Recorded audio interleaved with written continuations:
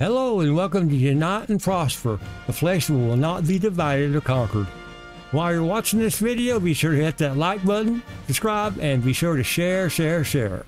Here's a part of an interview with Nancy Pelosi. Looks like it's from some podcast, but it's where she's explaining uh, how she started the coup all by herself and uh, the process of kicking Biden out of the election. Have a listen you were talking to Joe Biden mm-hmm. in, in a certain kind of language. How would you describe that language? It was almost the way a mother or a father who is particularly good at being a parent tells a child who's already made a bad decision, I'm waiting for you to make a decision of a different sort. You're looking at me and waiting for this moment to pass. yeah, but I'm trying to think of why you're even asking it because you know I'm not going to answer it in this in the way that you want. I didn't plan to do that on the show. It was improvised. In fact, if I did, I probably would have worn a different suit or something because I didn't look too professional. But seriously, the um, just a little it, background. It was, it was like I've you never felt his been pain. that impressed with his political operation.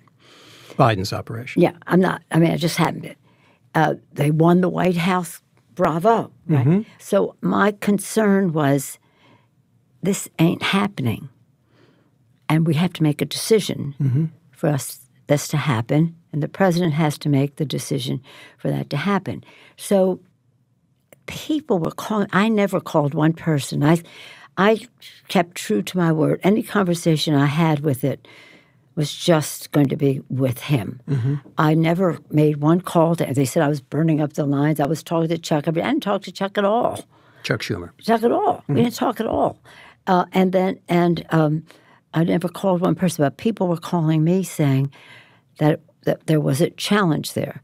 So there there have to be a change in uh, the leadership of the campaign, or what would come next let me just say, I, I won't say necessarily I knew what I was doing at that time. I knew what I was doing in the whole thing, not just that and what was, ship. And what was that? That Donald Trump would never set foot in the White House again. Well, there it is, a real threat to democracy. Always seems the Democrats are doing what they blame the Republicans of doing. It's the ultimate pay no attention to the man behind the curtain type of deal. Nancy Pelosi has given the middle finger to every single person that voted for Biden for this election. As the DNC didn't even give any, you know, actual real primary to give the people a chance to vote for anyone else but Biden. No de- uh, debates or anything like that. And now that Pelosi thinks Biden can't win, well, she goes totally against the American Republic and decides for the people as to who they will vote for, instead of the people deciding themselves. It's been asked uh, who's actually running this country.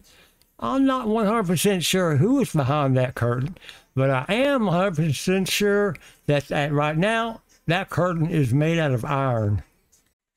And on that note, I'd like to thank you for watching my video and be sure to hit that like button, subscribe, and share, share, share. And you have a wonderful day.